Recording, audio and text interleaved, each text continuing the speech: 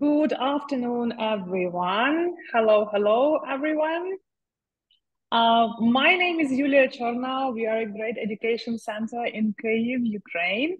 Uh, I always ask you uh, where you are from, but this time I, I, decided to change the question. So today is the 4th of April, uh, the 4th of 4th, 2024. Uh, some people believe that this is the magic date uh, if you believe in such things, um, what's your lucky number? Please let us know in the chat box, and then we will check like if you can hear us well, if you can see us well. Just type your lucky number in the chat box. Number four, okay. Seven, good. Cool. Thirteen. Okay. It's 4th April. It's 4th April 2024, and it's also 4 p.m. Oh yeah, okay, this is really cool. Um, and with us today is Natalia Leshko. She's our speaker for today's webinar. That's why we gathered uh, actually for a session uh, which Natalia is going to deliver in a couple of minutes when I stop talking. Hello, Natalia. Hello, everyone. Hello, hello. Yeah, it's a beautiful day actually. Uh, and um, before Natalia starts uh, cooking, by the way, I saw your stories on Facebook where you cooked a, very nice uh, breakfast. And Natalia is very good at, at, cooking English lessons. That's why we are here today. Uh, I have to say something very important. So, guys, um, before we actually move on, uh, you are going to get your certificates. Don't worry about this. Uh, all of you have been registered and uh, this webinar is recorded, uh, but active participation is also uh, appreciated. After the webinar, uh, when we upload the recording uh, to your personal cabinets, you will have to take a very short test, just five questions. It's a piece of cake for each of you and you will get your certificate in your personal cabinet. Uh, so remember about this. And now actually uh, one more important thing that uh, we were not supposed to tell you, but um, sorry, not this one. Okay, uh, during this webinar, uh, it wasn't announced. We are going uh, to choose the person uh, who will ask the most captivating question to Natalia about her session. Yeah, and uh, so you have to participate, ask your questions, uh, be very active. And this is the course uh, from Grade University, um, online tools for English language teacher, uh, for English language teaching. And Natalia is going to pick the one lucky teacher who is going to win this course uh, today. So yes, and she is holding the certificate and yes, and you will get the certificate if you are uh, very good at, at, asking questions. So uh, listen attentively, uh, participate, and ask your questions uh, in the end of the of this event. Okay, so now it's time for me to stop talking, yeah, and introduce Natalia. She has all possible teaching qualifications. She's a teacher trainer, uh, a very active uh, person on social media, and um, she's really good at delivering sessions about teaching young learners and teenagers. And actually, we are going to cook some activities uh, to develop productive skills of your uh, students today. Uh, these are going to be hands-on ideas that you are going to use in your classrooms. Um, and uh, I'm giving the floor to Natalia, and it's your time to shine. Thank you very much, Julia, for that flattering introduction. Uh, it's like after these words, I don't know whether actually I can do these things. I'm joking, of you course. Can. I know I can, yeah, because I've planned that. But uh, there is never, I mean, never enough, okay? Probably I will start with this. As uh, you've mentioned that I've got all possible qualifications. Believe me, there are more. the recently we've heard, probably that was the first April joke, but recently we've heard that um, there are actually, we, we were invited for the webinar uh, how to get ready uh, to pass the exam for D1 and D2 level. So we were like, what? D1 and D2? What's that? And like, and we started Googling actually. So hopefully, luckily, it was a, first April June um, joke, but probably, I mean, these things are going to exist uh, sooner or later, or there are so many other qualifications that we can actually get apart from Cambridge qualifications like CELTA, Delta, TKT, or H2LT courses, any other courses. Um, it's a good idea to develop in other fields as well, like neural language coach, for example, which I've got recently, or any other qualifications like psychology degree probably, or um, a workshop in this, you know, when we actually uh, say development, CPD, professional development, yeah, it's not only a seminar or a webinar on methodology. It can be your language development as well. Uh, and here again, I will strongly recommend you Grade University Center and great courses as a as a language course. You can go there and enjoy studying with them.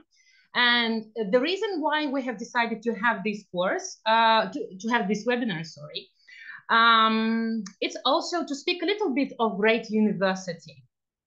Because one of my greatest tutors that I've ever had, have ever had, now works for Grade University.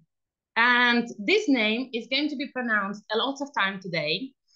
And um, I would like to check you, I mean, whether we are on the same page or not. So can you guess the name? Just write down the name. It's a female name, so write it in the chat. Who do you think this person is? Maybe you know this lady, maybe you're not, or you can simply uh, predict what the female name is. Anna, no. No. Jo, no. Okay. Julia, no. Kate, Natalia, no. Okay. Helen. Bravo. Olena, bravo. Yes, yes, yes. My favorite tutor ever is Olena Lisitsa, and that's why I strongly recommend you. Grade university. Because of Olena Lisitsa, because of other courses as well, but because of Olena Lisitsa specifically. And um, you've probably read on uh, social media accounts, and Yulia said that that today is going to be a demo lesson. So you will be my students, guinea pigs. Okay, I do apologize for that because you're going to be primary students. And uh, this demo lesson was part of my course, IH2LT course, which is similar to Delta, or CELTA, sorry, sorry, sorry, sorry, CELTA, but teaching young, young learners and teenagers. And this lesson was um, part of my course, and I received the best feedback from Olena as above standard lesson. It's like an extremely good lesson. This is like best of the best. That's why I decided that I want to share these ideas with you because this is not only a good lesson that I want to show off. Of course not because this is a universal language uh, lesson. You can easily adapt it to your students, to your needs. I'm going to show you and ask this question at the end. How can you verify this lesson? How can you change that? Okay, so this is like a skeleton of the lesson. And here we go. We are going to have a look at the objectives of today's seminar, yeah, webinar. So first of all, we are going to go through hands-on activities, minimum preparation. I'm not saying that I'm a lazy teacher, but I appreciate my time a lot. And I know that you do the same.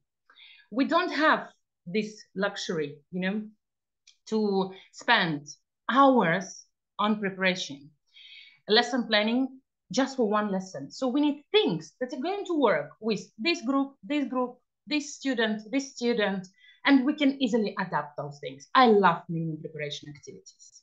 So here is my turn where I can contribute. The second thing is techniques on how to inspire and support students' communication. That's why it's called Empowering Young Voices. So I think that I don't need to stop here for a long time and explain that we're learning English just to communicate with others. I mean, we need it for speaking. That's why it's our main skill. So speaking, how to promote that speaking, how to inspire students, how to push students to speak. And finally, how to accommodate mixed ability classroom with the same task. Again, This because we have the minimum preparation hands-on activities. It doesn't mean that you go with a pile of activities to the classroom and you give this to Sasha and this to Olena because Olena is a stronger student and Sasha is a weaker student. No.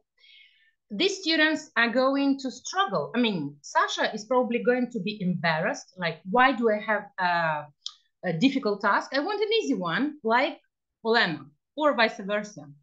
Olena is, um, again, uh, pissed off because she uh, wants to try something more challenging. So it doesn't work, you see? That's why bringing different activities into the classroom for different students doesn't work. The students might be offended. That's why I prefer bringing one activity, but this activity is going to help both students, weaker and stronger students. So every single lesson every single thing that we do in the classroom and not actually only in the classroom, we need to start with the question, why? Why are we doing this? Why are we doing this activity? Why are we doing these things? Why are we singing this particular song? When you start with the question why, it's going to help you to plan your lesson effectively and cater to your students' needs. If you're going to answer the question, because my student, this student or that student needs it, then good, tick, you're going to achieve the lesson aim. If you can't answer this question, why do you are doing this for this specific group of students, probably you need to forget about this activity for a while, okay? Probably not now, not today, not with this group. If you can, then go, then you're on the right path. And when we start with why, Again, I'm gonna um, give you a very brief things uh, introduction of a lesson. Yeah, you know that from the title, this is going to be a grammar and vocabulary lesson.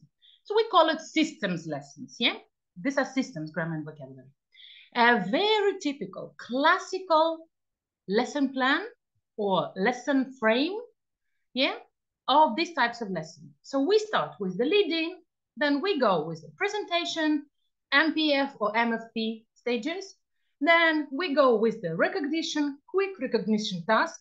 Here we cross-check or double-check whether the students remember the words, whether actually the presentation was successful or not. And finally, we move on to practice, where we apply that knowledge and we produce the language. We go to production. These letters, as you see, this is the lesson plan, very classical one, PPP. Or Olena prefers to use it a different variation. She says MMM. This is not because of her age and my age and Yulia's age that we remember this abbreviation from the Soviet Union. Of course not. But this is what applies for young learners more. MMM, this is like meeting the language. So you meet it, you see it for the very first time. Then the second M is manipulating the language. So you actually play with it, you practice it. And finally, making the language your own. So you actually use it. So again, a traditional version, MM, uh, PPP, Olena's version, MMM. I love it, MMM. Here we have MPF and MFP stages. Again, this is meaning, presentation, and form, and meaning, form, sorry, sorry, pronunciation, meaning pronunciation form or meaning form pronunciation. Why do I have it in this, I mean, with a slash? We either play it this way or this way. Any suggestions? You can quickly write the word in the chat. Or you can unmute yourself probably and tell me. This is going to be faster. Let's try to unmute yourself. Can you speak? One, two, three. Nobody wants to speak. We are thinking. ah, you're thinking. Okay. That's good idea. Thank you. How to make new meaning more presentable? Probably, okay. Meaning form pronunciation or meaning pronunciation form. Why do I have it in a different? Maybe it's nice to combine uh, it like not to be monotonous or something like that. Maybe Vera, maybe like that. Any other? Somebody else wanted to say maybe well. maybe it is depends uh, on what we are presenting. When we present in grammar, for example, uh, then we present uh, meaning, form, and then pronunciation. When we are presenting vocabulary, uh, then it is mm, more con convenient will be to present the meaning, pronunciation, and then the form. Marina, I love it. Thank you very much for mentioning it. So, meaning, form, pronunciation. This is for grammar lesson, dear teachers. Meaning, form, pronunciation. We understand why are we using this? Then we see the sentence, the form, and only after that we practice pronunciation because the structure is longer. It's very difficult to pronounce the sentence many times without seeing it. Once I start saying the sentence, I don't remember the ending. That's why we have it meaning form pronunciation. For grammar, uh, for vocabulary lesson, it's vice versa. We start with the meaning, it's always with the meaning. Then we practice pronunciation. And only after that, we see the words, meaning pronunciation form. Because again, when we start, when we know the word, we start pronouncing it, we don't see the form yet. So we make less mistakes. I'm going to demonstrate it during, during the lesson, and I'm going to stop on for a second on that slide for you. Okay, and I have a question about the recognition stage. Again, in the lesson plan, this is something like two, three minutes maximum. Maximum, it's very brief, very short. But here I have double check or cross check.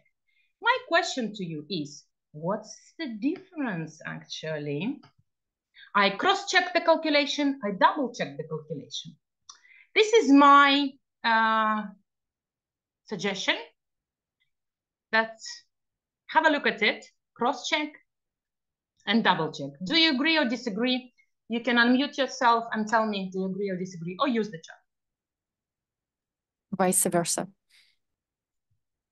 Yes, it's vice versa, uh, Vera. Absolutely correct.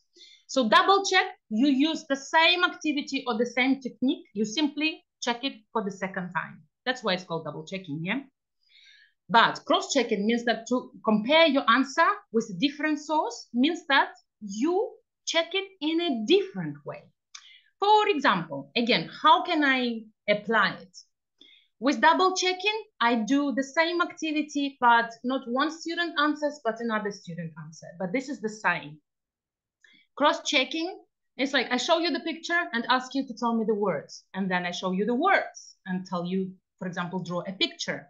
This is a different technique. You see, you change it a little bit, cross-checking. So I really like that we're going smoothly on the same page. Now, since we're going to have a lesson, and this is a full lesson, demo lesson, what's the lesson aim then of my lesson? Again, when we speak about the lesson aim, I have a lesson on parts of body and has got structure. I'm not going to stop here how to plan a lesson. But again, the person who taught me to do this is Olena Lisitsa. And this is the best way I uh, learned it. I do have here one of my colleagues, a very good teacher. Her name is Olga. Hello, Olga. And she told me, yes, that finally, after my webinar in lesson planning, she learned how to write a lesson aim. Again, that was after Valena tutorial. So have a look at it. It, it looks wordy. Yeah, it's kind of long one. But once you look at it, have a look, read it. Do you actually visualize the lesson in your head?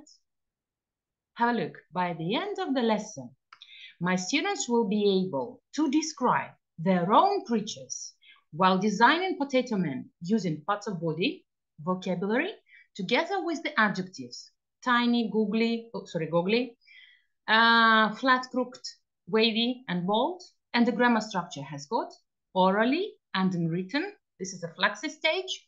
Orally is the main focus. Written is we'll see how it goes with the student. I mean, it's a real lesson, yeah?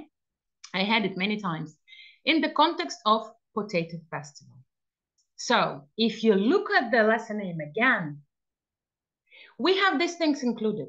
The main skill, the final task, vocabulary and grammar that I will be using and my students will be using during the lesson. I have the focus, how are we doing this, orally or in written? And I finally have the context. Once you have it, parts of body has got oh my God, this can be a different lesson. So many lessons. But once you see this, okay, from this lesson aim, I understand that my students will be designing their own potato man, their own creature. And by the end of the lesson, they're going to describe it. They're going to speak about it or they're going to write about it because I have it orally and in written form. And again, the context can be different. Yulia told you that we're going to cook. Well, that's because it is connected with food, potato, but it's not cooking. It's a potato festival. So probably we're going to speak about different potatoes. A potato is a lady, a potato is a policeman, and many, many, many, many others. Hmm, jobs are not concluded. So just probably parts of body and have a look. Parts of body is not actually the new vocabulary here. Together with the adjectives. So the focus is on the adjectives. Tiny, googly, flat crooked, wavy, and bald. Parts of body, we revise. You see how we change the focus? And the grammar structure has got. Again, if you write in the lesson plan, in the lesson aim, only the new vocabulary, without the grammar structure, hmm, parts of body. Do I use there is, there are? Do I use the present simple? Do I use it is or they are? What do I use? It's very important to understand what grammar structure goes together with this vocabulary because we don't speak words. We speak sentences. That's why we need a grammar structure together with the word. So finally, we have the context, we have the focus, the final task, designing, designing potato man, yeah, and describing the creatures. Let's go. I want to use this man for uh, this part of the webinar. Yeah, again, Lena told us to this. Lena taught us how to plan the lesson effectively going backwards, like Steve Jobs. You look backwards. You start. What does it mean to look backwards? What does it mean? What does it mean? Backward planning. It means that you start your focus from the final activity. So actually, you see how it's connected. When you have the lesson name, you see the final activity. This is how it goes. Once you are inspired for a lesson, I want to use it in my lesson. My students are going to do this. How do you plan your lesson? You have this and you go backward. From this activity, you go to the beginning of the lesson.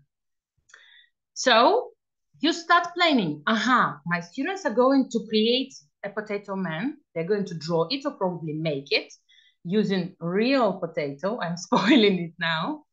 Now, how do they do? What do they say before it?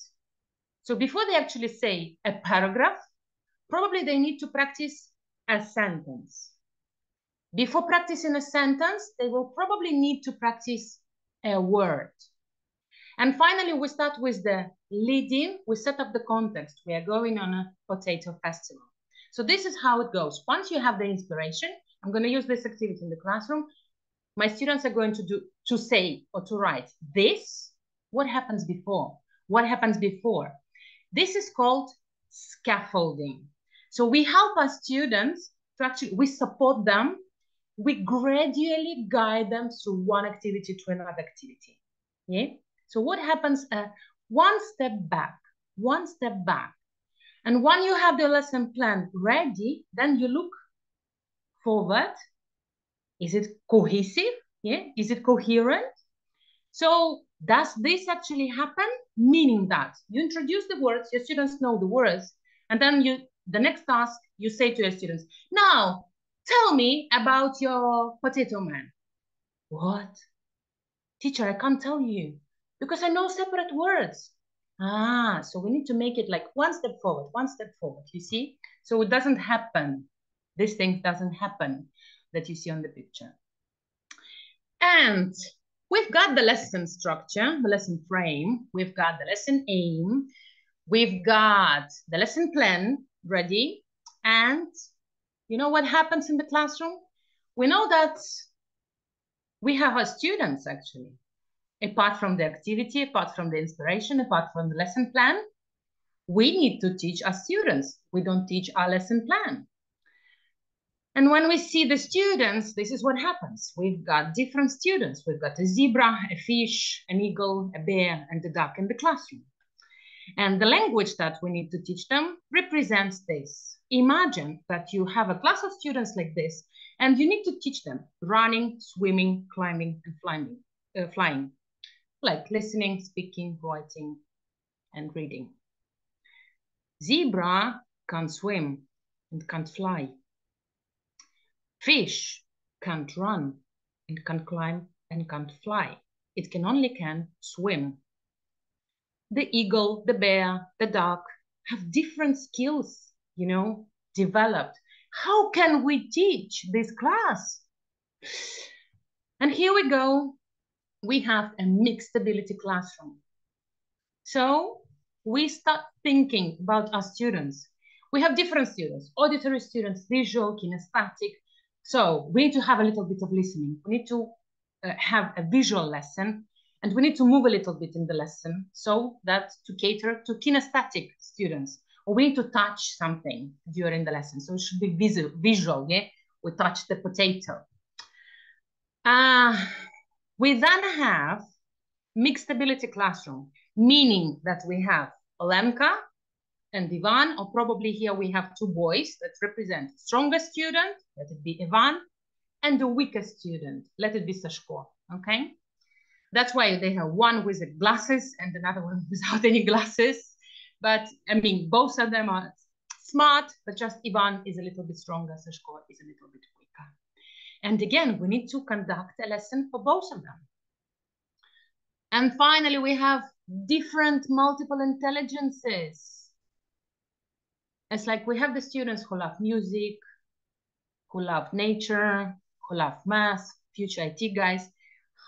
To have a lesson for all of them? I know it's a nightmare. If you focus at least on these two things, like you grade your tasks. Grade your tasks means that it's, you not only grade your language, but graded task means that you can use the same task with both categories with senior students and uh, with stronger students and with the weaker students. And if you cater to types of learners, visual, auditory, and kinesthetic, you are fine. At least these two things. Multiple intelligence is probably is a God level, okay? or probably a separate level, lesson. But these two things, will we focus on this during every single lesson. Here we go. Let's enough of theory. Let's jump into practice. A demo lesson. So you're now going to be my students. This means that you have to unmute yourself, some of you, okay? Who is ready, who can afford this, to speak a little bit. You're going to tell me some words to repeat after me. You're going to be my students. Your level is pre-A1. You are eight, nine years old, something like that, okay? So please grade your language from C1, C2, B2 to pre-A1, okay? Let's try. Hello, everyone. Hello. Hello. Hello. Hello, hello, hello. Hello. Today, hello, hello, yes, hello. Today, we are going to have a very interesting lesson. We are actually going on a potato festival. Potato festival. This festival is going to be full of different potatoes. Big potatoes, small potatoes, with a lot of eyes, or probably with an eye, okay? With teeth or without teeth. Ready? Yeah. Yeah. Let's go. Yeah. Sam, let's play the game. What's this? It's a potato. Yes, the po- look at that. Look at it. My potatoes got big eyes. What can you say, Olga? Imagine that I throw the potato to Olga. Uh, it can. It, it has got uh, a red tongue. Very good. Thank you. Natalia, your potato. Uh, it has got nice ears. Very good. Anastasia, your potato. Okay. Let's try another one. Marina, your potato. It has got beautiful eyes. Thank you. Thank you very much. So you've got the idea. Now, look at this. It's not a potato, yeah? But is it a boy or a girl? Girl. Girl. It's Look at her hair. Listen. Wavy hair.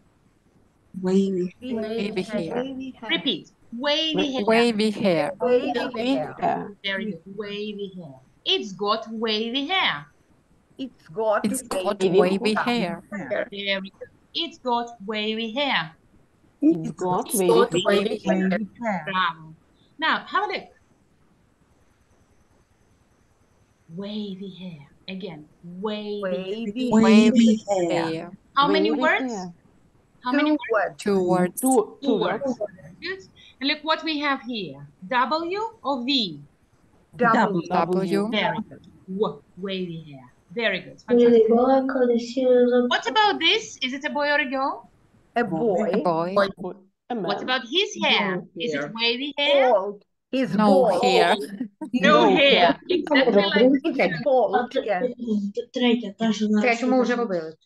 Uh, I'm sorry. Who is doing the exercise with the kids? Ми Okay. робили в зошиті. ці. Зошит не маєш тут? Третя варта у вас. uh-huh. Yes, I got it. Yeah. Who's that? I spotted the, the little devil in the classroom. Now listen, it's got a bald hat. It's got a bald a Got a head. bald hat. A bald hat. A A bald bald head. hat. Hat. It's got a bald hat. It's got. He's got a It's bald got a It's bald got a head. Very good. Look, look what we have here. How many words? Three. three. Three words. Very good. We've got a, a, a bald head altogether. A bald Bald hat. hat. That's A why it's hat. important to practice pronunciation before you show a form because of the word bald. You say bald, you don't say bald. It's You see? Bald. Once your bald. students see it's written, they start reading. And if you show the word first and then practice pronunciation, guarantee you're going to have mispronunciation. Okay? That's why we show the picture, we check Pronounce. the meaning, and then we pronounce it. And only final stage we show it. Okay? If mm. you have a flashcard, you can have it like you show it and then you unfold and you show the form. Okay? Let's have a look at this one. What about these eyes? Are they big or small? Big Big eyes. eyes. Very big. Very big. eyes. Very big. Very big eyes. Super potato. Yes. so we say, listen, goggly eyes. Goggly Goggly eyes. eyes. Goggly eyes. Goggly eyes. It's got goggly eyes. It's got It's got goggly Goggly eyes. eyes. Let's have a look. How many letters G? Two. Three. Uh, how many? Three, two, three. it's not googly, it's goggly. Goggly eyes. Goggly. Goggly. How many Goggly. letters O? One. One. One, Goggly, goggly. Okay, Goggly. goggly eyes. How many words? Two or three? two, two. Two. Goggly eyes. What about these eyes? Are they goggly? No, No. not goggly. No. Teacher, no eyes. No eyes. yeah. But what about the size? Are they goggly, big, small? Small. Very No. small. Maybe small. Yeah. Listen, we say tiny, Tiny. Tiny. tiny, tiny eyes. Tiny. Tiny eyes. eyes. It's got tiny eyes. It's It's got, got tiny tiny eyes. eyes. Bravo. How many words? Two words. Very good. What's this letter? I. And I. this? E. Why? Why? Y. Yes. Big, big. Tiny. I. Tiny. Y. Y. Tiny. Very good. What about this nose? Mm, crooked. Crooked. It's a crooked nose. Let's say all mm-hmm. together. Crooked nose. Crooked nose. Nose. It's got a crooked nose. It's It's got, got a crooked nose. It's got a crooked nose. How many words? Three. words. What is this? C. And this? K. Very good. How many letters O? Two. Two. Very good. Good students. What about this nose? Is it a crooked nose?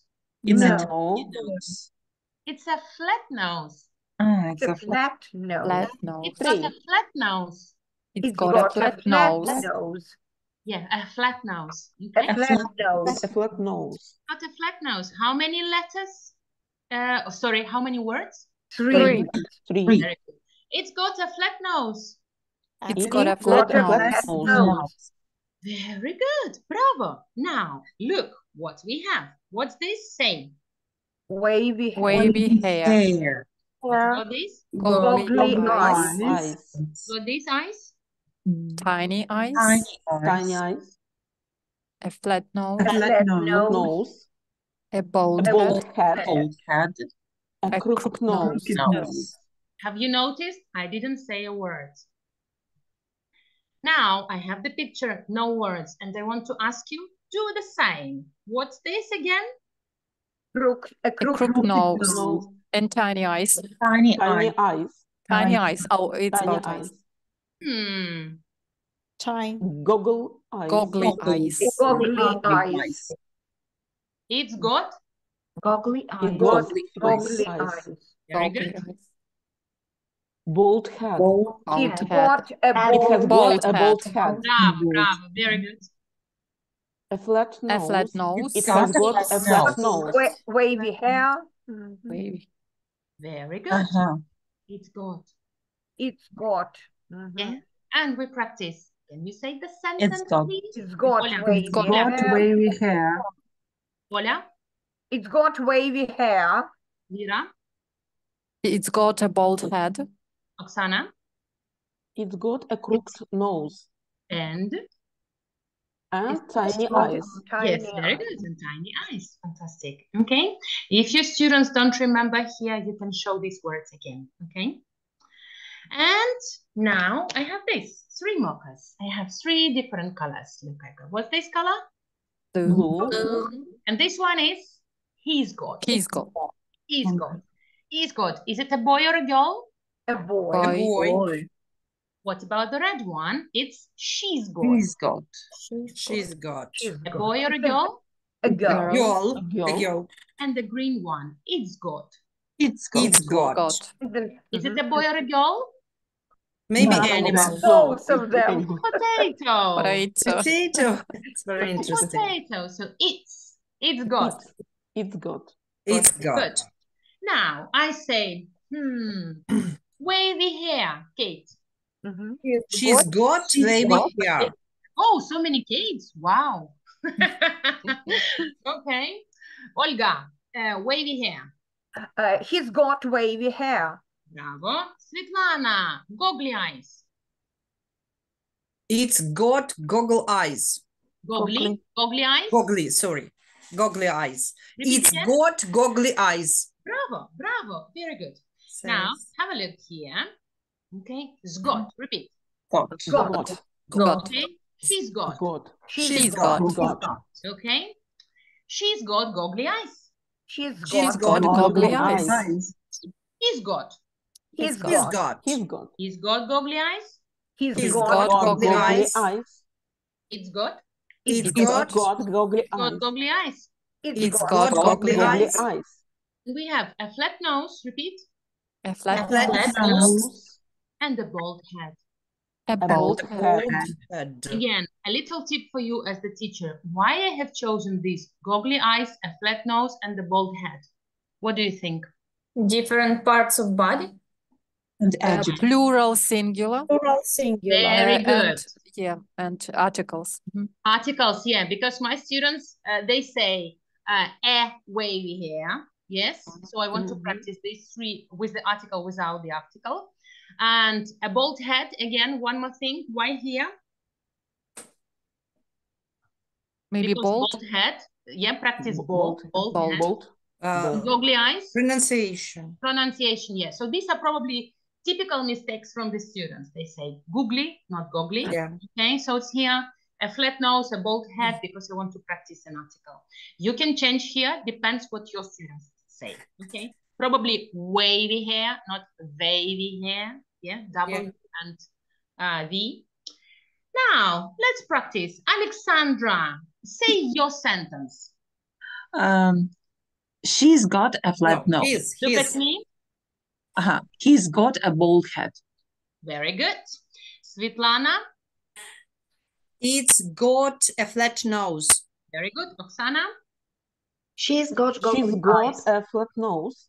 Okay. Kate, He's got goggly eyes. Vera, It's got a flat nose. very good. Thank you very much. Brilliant Now. ideas. Look, look what I've got. I've got a handout, okay? And look at the picture. Look at this nose. Is it Mhm. flat or crooked? Crooked. Crooked. Crooked. Crooked. He's got a Crooked crooked nose. Mm-hmm. She's So my students, we demonstrate, I do it together and then I ask students to do individually and then after that check in pairs and then check with me, Mhm. okay? Now, he's got a bald hat. This Mhm. one, Yeah. Yeah. Got a bald head. he's got wavy hair. She's Yeah. got wavy hair. She's Mhm. got wavy It's got hair. goggly eyes. So we check, yeah, Mm. the pictures. Now, have a look here. We are going, to remember that we're going on a potato festival. So we are going to create our own potato for a potato festival. Mhm. Let's try to do it together. I'm going to switch the presentation now because I want to do it together with you, okay, to demonstrate how it looks in the classroom. I demo the task, so we do it together with the students. so this is our potato. What do you want? Wavy hair or a bald head? Wavy. Wavy Wavy. hair. Wavy hair, of course. Mhm. Okay, wavy hair. Good. Oh, come on. Now, tiny eyes or goggly eyes? Goggly Goggly eyes. Goggly eyes. eyes. You're just typical. Standard teacher, everyone go with goggly eyes. Okay, one eye or two eyes? Two eyes. Two. Two eyes. Two. A flat nose or a crooked nose? A Crooked. flat. A flat. A crooked nose. A flat. A flat nose. Ah, Okay, I've heard the word flat. Both. Both. Okay. that's good. Yes. Okay. And a big mouse or a small mouse? A big mouse. A big mouth. A big mouse. A mouse. big mouse. Okay. Here again, you can play with the students. How many with teeth, without the teeth? Uh, how many teeth do you want? One, two, three. Okay. Oops. Sorry. So it's like this. And now listen. My potatoes got. Ah, the task was to underline as well or circle. So we've got wavy hair, Yeah. Goggly Goggly eyes. eyes. A flat nose. a flat big nose, crooked nose. crooked nose, nose. A big A big mouse. Big mouse. Now, my potatoes got wavy hair, goggly eyes, a flat nose and a crooked nose and a big mouth. What about your potato? And my students, they draw their potatoes individually first, okay? And then I ask them, once they're ready, probably um, the drawing process where they circle or underline and draw here on the pink oval is going to be something like two minutes. Again, don't ask them, be very specific with the timing, very limited, okay? This is very fast. This is still preparation. So don't stay here for long time, for a long time. And then my students need to pronounce in this phrase. They need to say that. So I ask them to stand up in the classroom, or if it is online, I ask them to go into the uh, breakout rooms and they can change the breakout room so they can mingle. It's a little bit more complicated when you teach online. Once you're in the classroom, they just stand up, go with their paper, and I ask them to check whether they have the same or different with other students. How do I do this? I ask a student, for example, Oksana, yeah? I ask, uh, come, come to the board. Look, Oksana, and they show that I read. My potato's got wavy hair. You, Oksana, give me an example, please. My potatoes got tiny eyes. No, speak about Okay. a bald head. A bald head. Okay, if Oksana says, my potatoes got tiny eyes, But my potatoes got goggly eyes. Hmm, no. Okay. And I go to another student. I ask Sasha, for example. Sasha, my potatoes got goggly eyes. You? And Sasha says, my potatoes got goggly eyes. I say, oh, good. Tick. And I show to the students that I put a tick. Now, let's go. Talk to your partners. We, they know that. And they start talking to each other, checking how many ticks they've got every time they put a tick. So they mingle, mingle, mingle, something like four or five minutes, depending how many students you have there. Then we sit down. And this is what we do next. We actually write that sentence down. My potato has got this version on the left is for the senior students, for stronger students. This paper is folded, yeah, складено пополам, folded, so that my uh, stronger students, they don't see the picture, so they use their memory writing down the words. The weaker students, they unfold the paper, they see the whole paper, and they simply copy the words from the picture to the sentence, like this. Okay? Mm -hmm. Again, uh, this is a graded task, yeah? Where your students, you cater for stronger and weaker students. Finally, we are ready to create our real potato. so I bring potatoes to the classroom. My students choose their potatoes. Then I give them the markers and they start drawing. Let's see whether you can see it. yeah. yeah.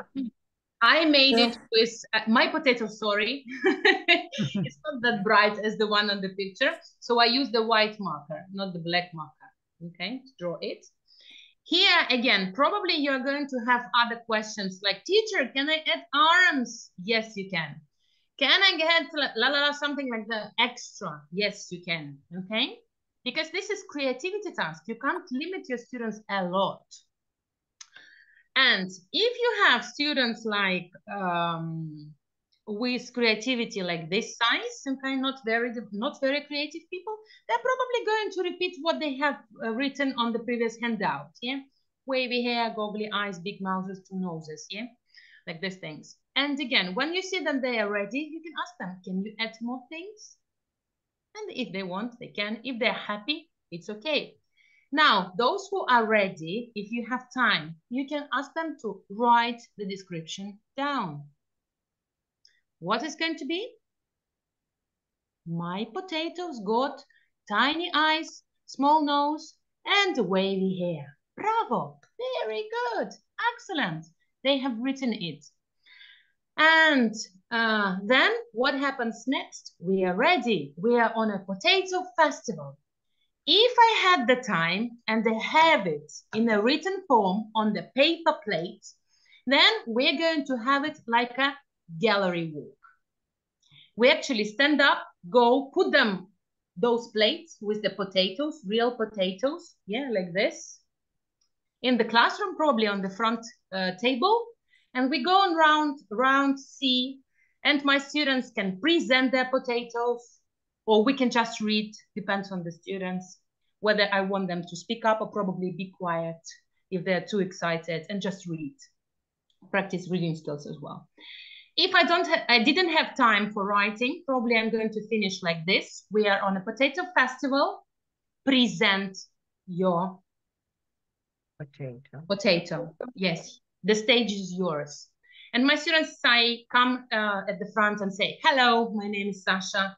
This is my potato. My potato's got goggly eyes, a flat nose, and the big mouth, and the wavy hair. Congratulations. When your students do this, you actually prepare something like certificates if you have. If you don't want, you can just say that. Ooh, fantastic. Well done. Sasha, your potato is the most, has got the waviest hair. Or probably, Ivan, your potato has got the most crooked nose. Okay? The goggliest eyes. The goggliest eyes, yes, something like that. If you say the best, uh, the best actually can't, and I don't understand what's that. It's not measurable, yeah? But it's like the biggest, the tiniest. You can actually play with different, uh, different um, forms of potatoes.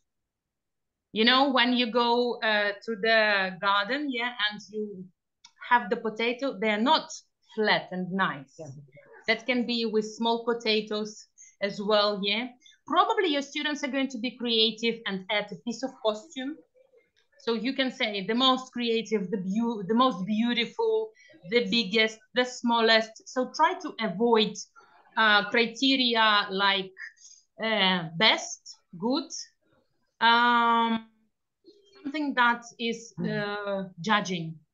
So you don't judge, yeah? You are more specific. And again, you find uh, only positive things. What makes this your potato specific, special, and beautiful, yeah? Positive. And finally, we dance. Form bananas. Peel bananas. Go bananas. Go go go. Form the corn. Form form the corn. Peel peel. And form form the Four bananas, four, four bananas. bananas. Let's bananas. Go. You're going to listen to the song later, okay, once you have the recording. So, uh, because you will have the link for the song. So why, again, when I had uh, this song, because this is, you know, we, we can move a little bit, we can dance in the classroom. And this is form potato, form, form potato, peel potato, mash potato, yeah, like this thing. So the word potato is involved. And this is for you, my dear teachers, as well. Remember, I told you that I'm going to ask you the question, how can we verify this lesson? Can you use other food? Yeah. Why, Why not? not? We can have. Can we have a banana festival? Yeah. Yes. Yeah. Apple, a carrot. orange. A, A carrot. corn, A carrot, carrot. corn, any. An orange. Yes. Festival. Toy, toy A pear. festival. A pear. Yeah. Different Go with colors. radish. Radish, actually. Radish. It's got hair. Mhm. Has green Pumpkin. parts. Yeah. Students like uh, monsters. Uh-huh. Yes, yes, Pumpkin. yes. Toys. Pumpkin. Let's prepare the pumpkin. Pumpkin, yeah, yeah, yeah, yeah. So uh, this is actually where where this is the favorite part. Uh, Some of the teachers tell me, Natalia, we can start with the beetroot, then carrot, then potato, then onion, and we can actually finish with all these things, cooking Mhm. borscht. The salad. Cooking borscht or the salad. I was like, ah, looks like cannibalism a, a little bit, but uh, you can try. and one of the teachers told me, like, oh, we can imagine that these are Russians. okay, if you want, please do. I mean, I don't know your students, but if it's going to cater to your students and satisfy your students' needs, do it. Whatever benefit the lesson, really. Now, um, any mistakes here? Probably you've noticed. Mhm. Eyes. Yeah. Eyes. Two. A wavy hair. Spelling. Even three Without eyes. hair. Mm-hmm. Yeah, a Wavy hair nose. is a good thing. Well, Yeah, it was a wavy hair. Yeah. Here my it's student correct. was Here correct. it's correct. In this Yes. picture, it's correct. Yeah, so it's a good idea. Before you start actually correcting, because I was like, I approached the student, I didn't look at the potato. I mean, and I started like, um, a wavy hair, it's like wavy hair, we have a lot of hair. And he was like, no, I've got one. Це як козак, знаєте? Yeah. Uh-huh. Ah, so it is correct here. Okay, so be careful with what you are correcting. Actually, be very, very specific. But tiny eyes, yes, and a small nose, yes. And I wrote it here for you just to um, go through this stage, like error correction. But in reality, my students, they didn't have any mistakes. You know why? Because the lesson was properly scaffolded. So they had uh, enough practice. We didn't distract from the topic. We focused only on these things. We started with the word level, sentence level. We tried it. Remember handout, my potatoes got. So I copied the words. And then finally, that was like a drafting. Yeah, if we speak about the writing lesson. So I drafted, my potatoes got. And finally, we have it beautifully written. And most of my students, they were actually looking at the handout and copying from the handout.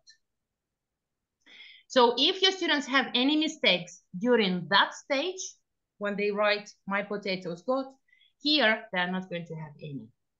And now, this is the end of the lesson. Let's discuss the stages. So we started from the leading with setting up the context. Agree? Yeah. Fantastic. While I'm actually, this is the task for you now to start thinking of the good question that you can ask me because we're approaching the end of the webinar and there is the certificate waiting for you. Yeah. Okay. Ah, come on. You can't see it. It's blurry. Ah, okay. We can see it's okay. yeah, it's a gift certificate. Uh, let's go. So we set up the context with the leading that we're going on a potato festival. In reality, I even had on the board, uh, I draw the uh, uh island and I wrote the potato festival. I asked my students, where are we going? Which country is this? They told me Spain. Okay, I have written Spain. And then we had a boat with all the students on the board uh, on the boat, okay? And then I moved, with each activity, I moved the boat closer to the island. And when they were misbehaving or distracting, guess what? The boat was moving backward. backward. Exactly. So it was very visual that here we go, we are on the potato on the island, and here is the time for a potato festival. Then we played hot potato here with my potatoes got activating review, review parts of the body. Yeah. The vocabulary they already know. Eyes, mouth, nose, probably. Okay. You can have here not necessarily this potato. It can be a picture. And you pass the picture and they say one sentence about the picture.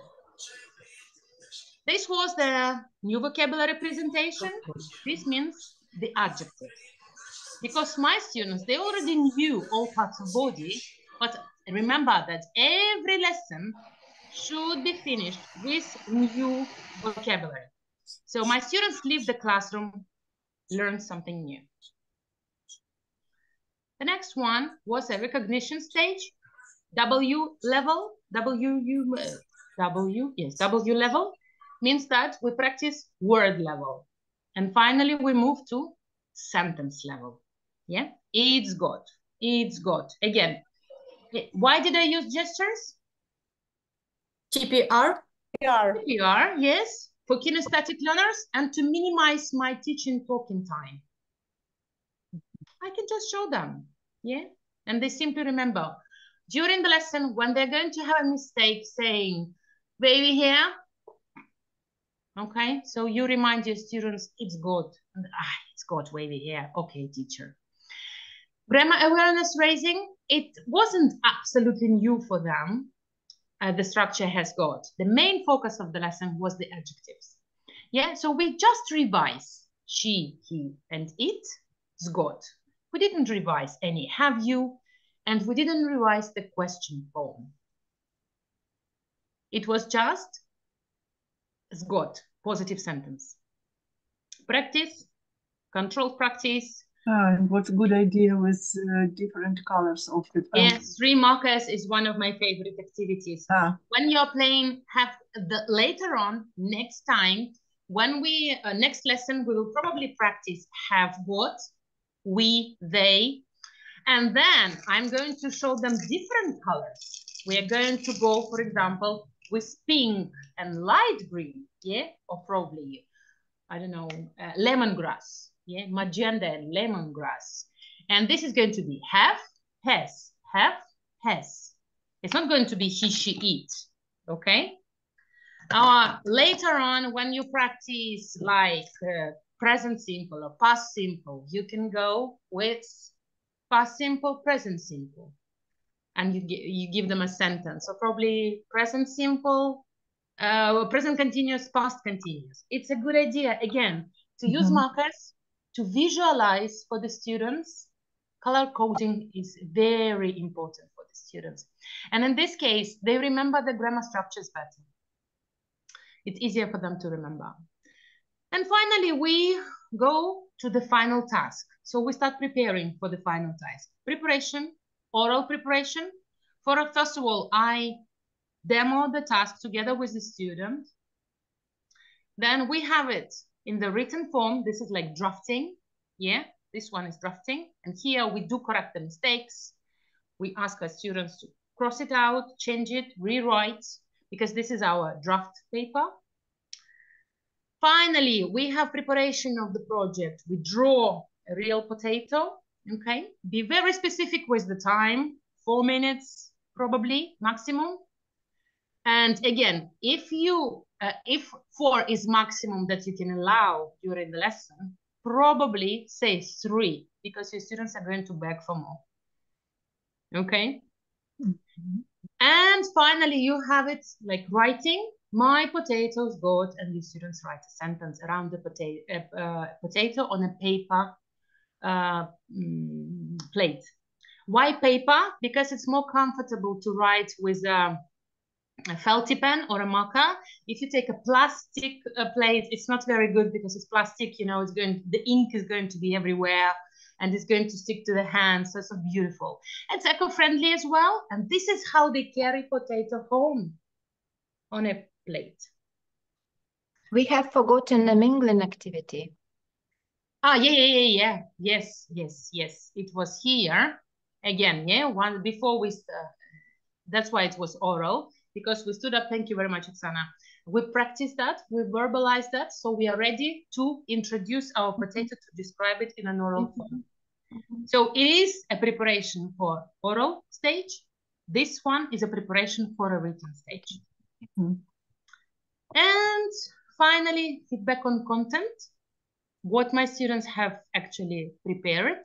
Yeah, your potato is the beauty, the most beautiful, the biggest, the most amazing, fantastic, blah blah blah. They don't need to understand these words. Don't teach them these words. Okay, just say. That's it.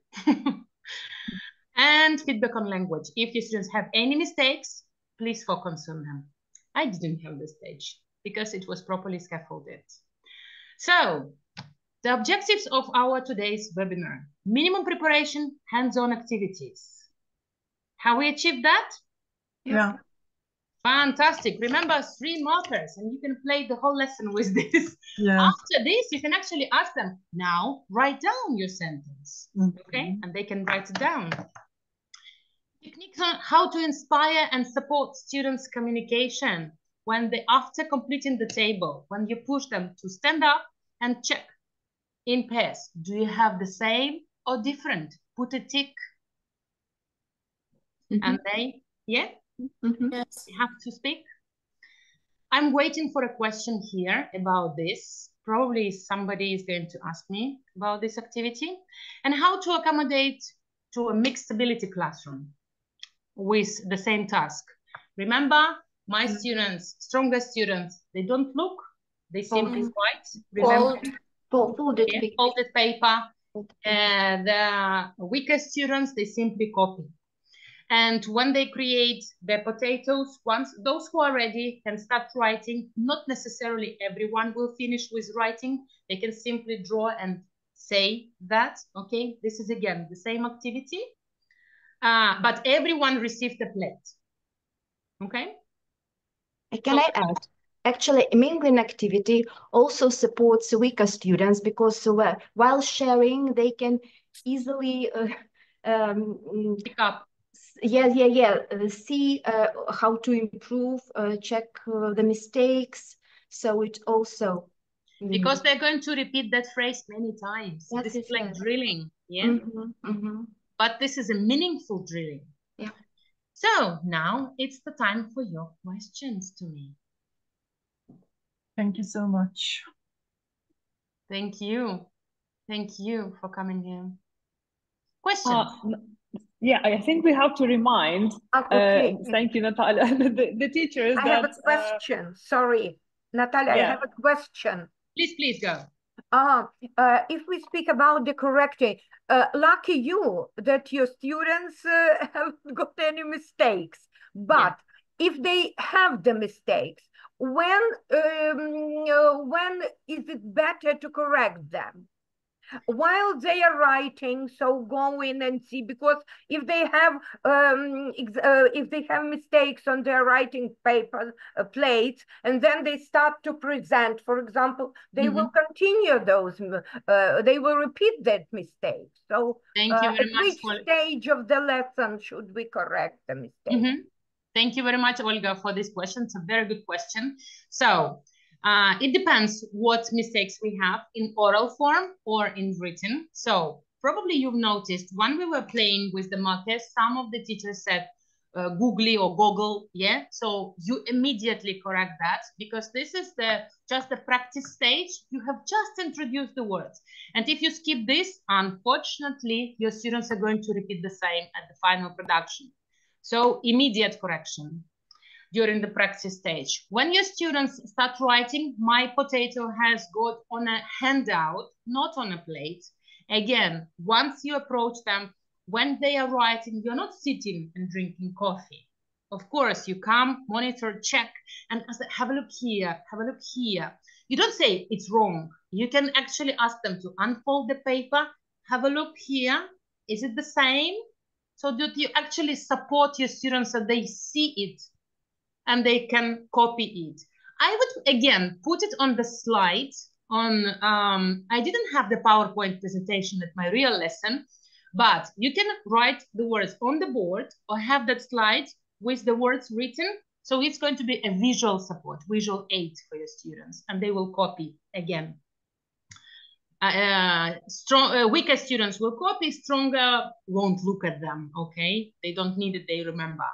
And when your students still have the mistake written on a plate, again, after they have finished writing, probably come again and have a look and point that after they have finished. I mean, they, they are going to finish, yeah? It's written there, so you see it's written.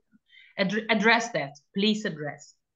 And when they have the mingling activity and you see that they are making the mistakes, here we don't correct we are waiting for them to finish because we can't stop the communication. So they are ready, they sit down, they are on their seats, and you can sit, put it on the board, or you can ask it, to do do, to do do, what do we say? To do do, to do do. And then you say, ask Masha, Vasya, and then Olenka, who actually made that mistake. Did I answer your question? Very good. There was, I think, one more question. Yulia, have you spotted it in the chat? Yeah, it's a question from Ina. Uh, she's asking, can we sing a song in the middle of the lesson? Ah, good question. If you have a song with the same words, with the same target vocabulary, yes, please do. If you have something like head and shoulders, knees and toes, mm, do you have these words needed for your lesson? No, it's not real. Um, so why should we sing it? Remember? Mm. Again, that peel potato, you know, form potato, it's just, remember, it's at the end of the lesson. This is just fun for a potato festival. This is what happens on the real potato, on the real festival. We dance. My students don't need to sing, uh, to sing those words at the song form the onion, form, form the onion, cry the onion, cry, cry the onion, and then they hug or something like that. Not necessarily. If they want, please. If they don't, it's okay. They can just dance and have fun. So it depends what's your target language.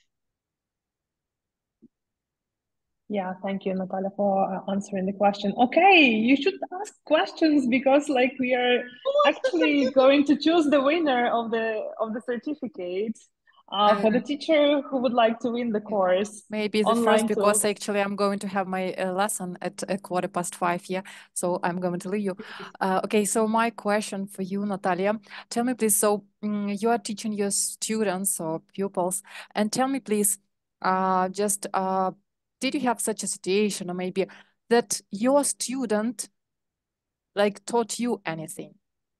Or of course, it happens like every single time every single lesson they teach me something new it goes about uh, methodology as well i mean i i learn my lessons that something is wrong going wrong during the lesson, so I learn these things. Or they ask uh, good questions about vocabulary. It's like, а як сказати отакий картошкою, такий круглий нос? Let's Google and find out together. Since I'm now teaching um, B2 level students, oh, believe me, every single lesson is with some about something about vocabulary. They share the content. They teach me new songs. Uh, they teach me new uh, films, new tips uh, for social media. So it's real life lessons. It's English lessons, and this is methodology lessons. Thank you very much, Vera. Thank you. I have to leave. Uh, so thank you Yeah, very yeah, much. please go, go, I really appreciate it. Thank Uh, you. Bye bye. Okay. Uh, will you share the materials with us? Of course I will. Okay. Uh, what extent do you use L1? What inspires you, Natalia? Oh, so many questions. okay i think like we have to now to to give some time limit yeah we have uh, let let's have like five more uh, minutes for to answer the que- the questions all right yeah, exactly. Uh, remember that practice makes not perfect, but permanent. Okay. So practice those things. Remember that you rock and you rule in the classroom. And talking about the materials again, uh, these are my contact details, or you can simply go to my Telegram channel now and you can find the handouts already being uploaded to the Telegram channel. And I'm answering the questions. To what extent do you use L1? I minimized it as much as possible. So during the lesson, I can only translate separate words when I see that the students actually don't understand fully the meaning. I can simply translate it into uh, Ukrainian. The rest, no. It's a lot of body language involved with primary students. I show them, look, read, listen to me, stand up, talk together. I love silent way try it one time. Again on my telegram channel you can watch the webinar on silent method how to be silent during the lesson. And this will help you how to use your body language more effectively. What was the second lesson uh, question uh, What inspires you? uh, what inspires me? Oh typical question. Common question i would say like this. Look inspiration is all around. I can be inspired by uh, a marker that i see a tree a butterfly, you know, I can be inspired by my kids, my husband, my friends, by you, by anything. There is nothing specific. Mostly people, mostly people, when I when we communicate, we we share the ideas like I've got a spark, you know, sparkle. And it's like, oh, I'm gonna use this like this.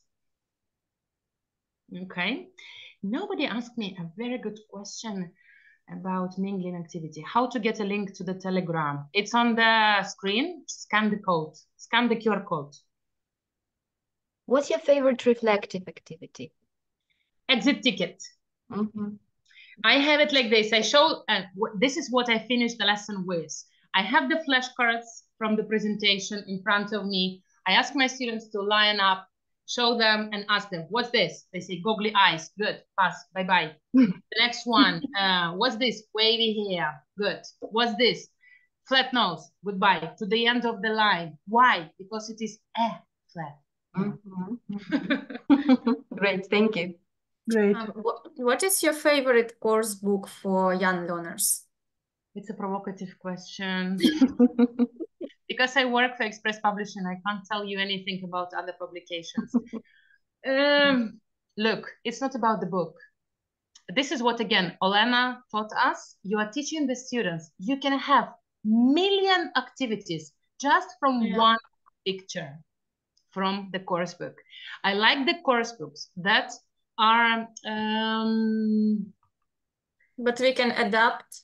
Our- Yes, yes, yes, adapt. I like the course books that are, you know, like scaffolded, so you don't have any extra vocabulary included, meaning that you start with parts of body like eyes, ears, nose, and then you, in the book, you are introduced the song Head and Shoulders. Why? Because we practice eyes and ears. And finally, please draw a monster and you have legs, arms, and body. So this doesn't, you know, match in my head. This I don't like. So I like the ones that are, you know, like flow, growing, going from one stage to another stage, like this. I like the pictures in the books, like this. Favorite Okay, I think the last, yeah, the last question. Let The last the last question, yeah, question. Yeah. Uh, okay, the last two. Uh, a favorite website. There is no favorite website. I use, I mean, there is probably nothing I can recommend because I don't use website. I just use minimum activities. I like, you know, zero preparation. I, I like using what I have in the classroom. And finally, what's your favorite activity for the physical break? Stand up and do something. I don't sing and dance with the students. I put the uh, handouts on a table, ask them, stand up, go and take it.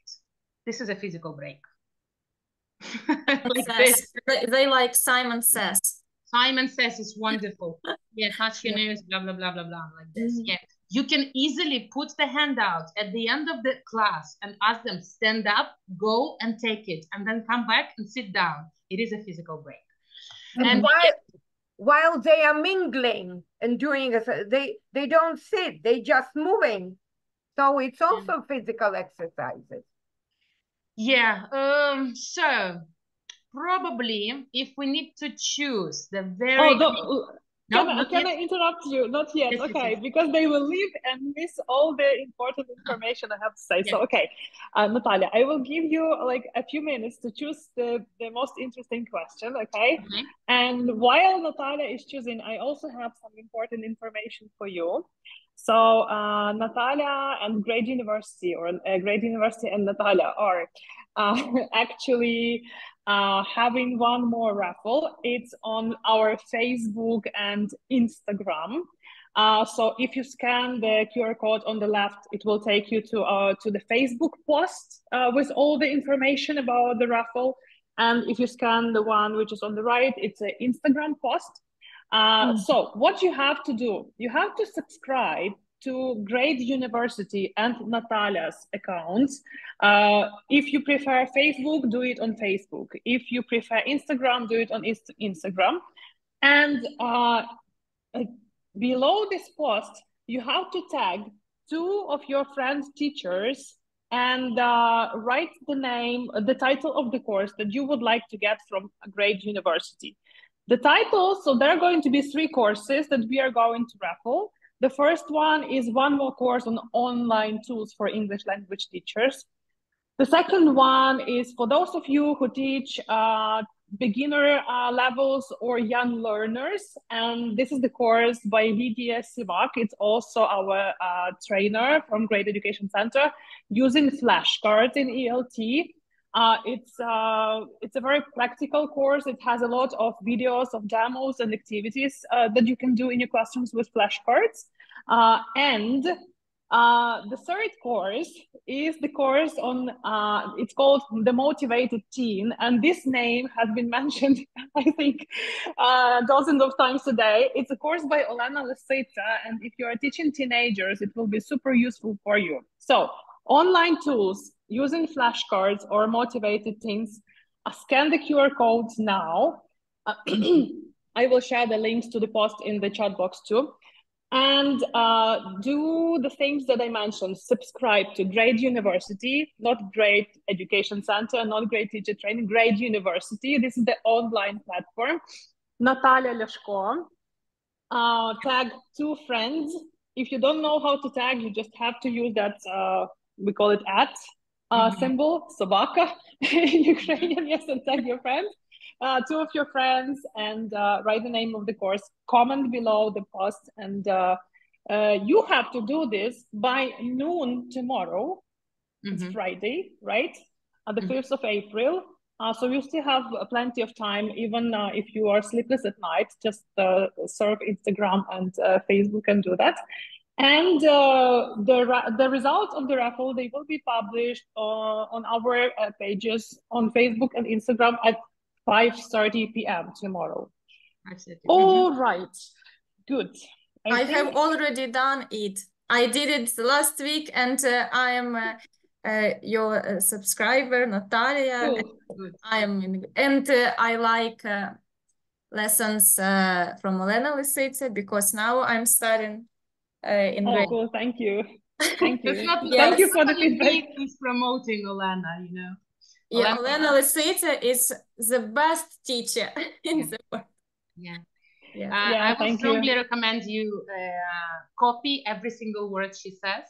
You know, remember Yes, it, yes, I and you're going to copy. refer to it later. She's amazing. Yeah. She's amazing. Mhm. Okay, so now you can see it. Yeah, Yeah. a real certificate. And the most meaningful question probably was about error correction. So it goes to Olga Kotlyachkova. My Yeah, congratulations. congratulations. Thank you. Thank you very Yeah, much. Thank you. I think that Okay, Yulia, you do uh, agree with me.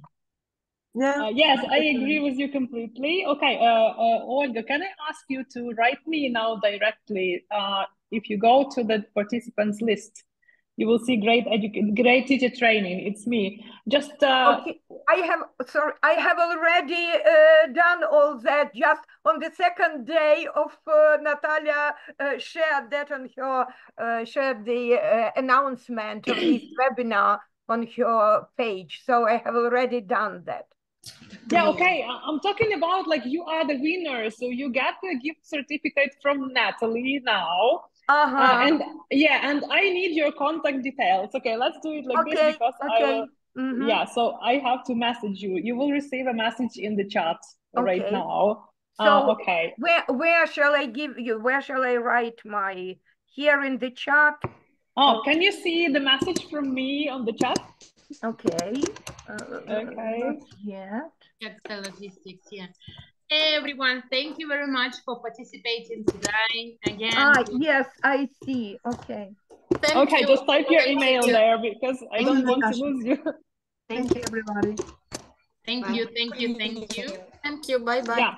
Okay.